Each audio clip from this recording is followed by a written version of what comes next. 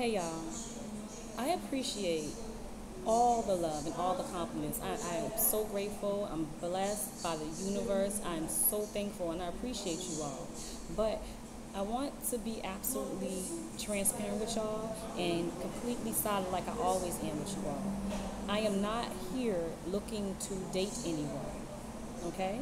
I don't even pay you all enough attention to consider going on a date with you all. And I'm saying this respectfully. I'm here to share my talents, to share my knowledge, and to share my wisdom with you all. And that's it. That's all. And to all y'all younger men out there, y'all 20 something year olds, please stop trying to holler at me. I don't like y'all. I don't want y'all. I really don't. You will end up in my block list. You will join the block party, and it's very motherfucking long. Don't try me. Don't fuck with me, because I will block you. But again, thank you for the compliments and the love. I do appreciate it. I do. I do. And I just don't want you to take my kindness and my politeness as me being too friendly. I'm just very respectful and I'm polite and I'm kind. But I'm not that damn friendly.